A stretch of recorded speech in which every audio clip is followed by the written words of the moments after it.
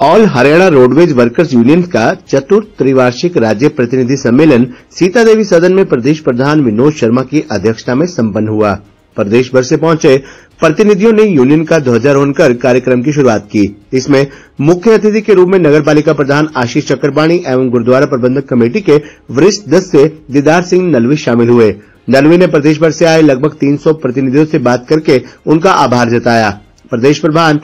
प्रदेश प्रधान विनोद शर्मा ने पिछले तीन वर्षों की वे राज्य कोषाध्यक्ष मनिंदर सिंह ने जमा खर्च की रिपोर्ट पेश की, जिसको प्रतिनिधियों ने सर्वसम्मति से पास किया। प्रदेश प्रधान ने राज्य कमेटी को भंग करने की घोषणा कर नई कमेटी के गठन के लिए चुनाव अधिकारी हरि नारायण शर्मा को अधिकृत करते हुए प्रस्ताव पास किया। हरि नारायण शर्मा ने सभी वरिष्ठ सदस्यों से विचार करके कमेटी की घोषणा की, जिसमें सर्वसम्मति से मायाराम उन्नियाल प्रदेश प्रधान, बलदेव सिंह, मामू माजरा महासचिव, सुखबीर सिंह को राज्य कोषाध्यक्ष सुनील निब्रैन माजिद चौहान धर्मेंद्र प्रभजोत सिंह को राज्य उप्रधान जोगिंदर ढुल को उप महासचिव सतबीर सिंह यादव व सुरेश पलड़ा को संगठन सचिव रामफल सीकरवाल को ऑडिटर करण सिंह अनूप को सचिव रंजीत करोड़ा को प्रेस प्रवक्ता नियुक्त करने की घोषणा की गई। सम्मेलन में पूर्व सेवानिवृत्त अधिकारी नेत, कर्मचारी नेताओं ने दलजीत राणा लालचंद कसाना केडी शर्मा खेमराज सैनी वीरेंद्र यादव महेंद्र पटेल लाभ सिंह पवन शामली महेंद्र सिंह बड़ालवा बाबूराम आदि भी मौजूद रहे। हाँ मैं विनोद शर्मा, राज्य प्रधान। आज Haryana roadways worker union register number उन्नीस सौ सैंतालीस का आज चतुर्थ त्रिवार्षिक राज्य प्रतिनिधि सम्मेलन यहाँ सीता देवी सदन में हो रहा है। सम्मेलन में तीन साल पीछे जो कार्यक्रम तय किए गए थे यूनियन द्वारा, उन पर चर्चा हुई है। और आने वाले समय के लिए, संगठन को मज़बूत करने के लिए यूनियन को मज़बूत करने के लिए, यहाँ पर हमारे जो सीनियर साथी थे राज्य कमेटी के, उन्होंने अपना संबोधन दिया है यहाँ। और आज के हमारे इस सम्मेलन के मुख्य अतिथि, यहाँ पेवा नगर पालिका के जो अध्यक्ष हैं, प्रधान साथी आशीष चक्रपाणी जी, दूसरे साथी हमारे दीदार सिंह नलवी जी, जो एच के मेंबर हैं वो आए थे, उन्होंने शुभकामनाएँ व्यक्त की है। हरियाणा रोडवेज़ के अंदर आज सभी अग्रणी संगठनों में हमारा संगठन काम कर रहा है और आने वाले समय में और मजबूती के लिए, कर्मचारियों की मांगों के लिए, कर्मचारियों की समस्याओं को उठाने का काम हमारा संगठन लगातार 2012 से कर रहा है। और आने वाले समय में भी हमारा प्रयास है कि रोडवेज़ कर्मचारी की जो समस्याएँ हैं, मांगे हैं, उन पर संघर्ष के लिए सरकार से हम दो दो हाथ करें।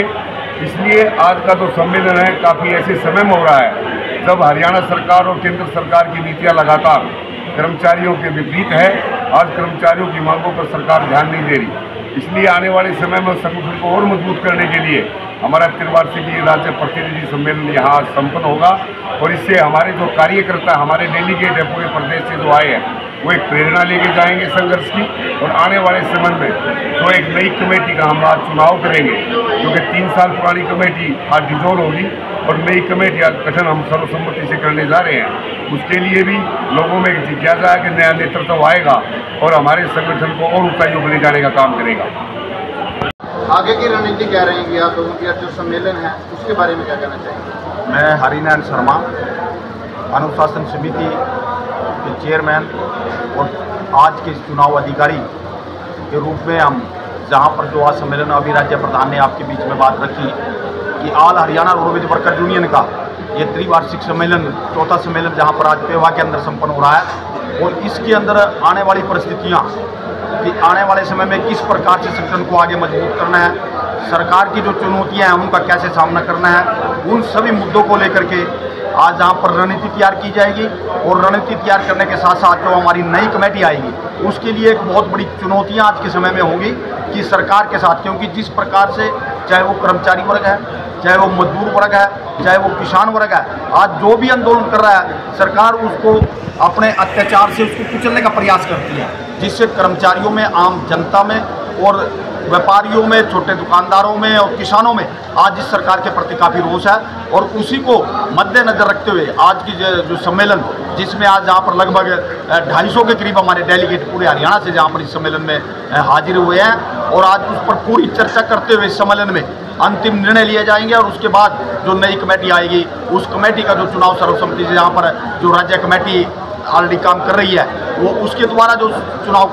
कमेटी का जो आगे नई जो कमेटी का चुनाव किया जाएगा, उसकी यहाँ पर घोषणा की जाएगी और उसके बाद ये उम्मीद है कि आने वाले समय में जो नई कमेटी है, वो पूरे ज़ोर शोर से, जैसे पहले रोडवेज़ के लिए all Haryana roadways worker union लगातार संघर्ष करती रही है, आगे भी इसी प्रकार से कर्मचारियों की डिमांडों के लिए और जनता की भलाई के लिए, क्योंकि रोडवेज़ जनता से जुड़ा हुआ डिपार्टमेंट है। इन सबको मद्देनजर रखते हुए पूरी रणनीति के साथ आगे भी आल हरियाणा रोडवेज़ जो वर्षों से काम कर रही है, कर्मचारियों की और जनता के लिए, तमाम उसी प्रकार से आगे काम करते रहेंगे और हम पूरी राज्य कमेटी की तरफ़ से और अनुशासन समिति की तरफ़ से तमाम जो नई कमेटी आज आएगी उसको शुभकामनाएँ देते हुए हम ये विश्वास करते हैं कि कर्मचारियों की मांगे के लिए और भी आगे हमारी मज़बूत कमेटी बन करके उभर करके आएगी और इन समस्याओं का हल करेगी।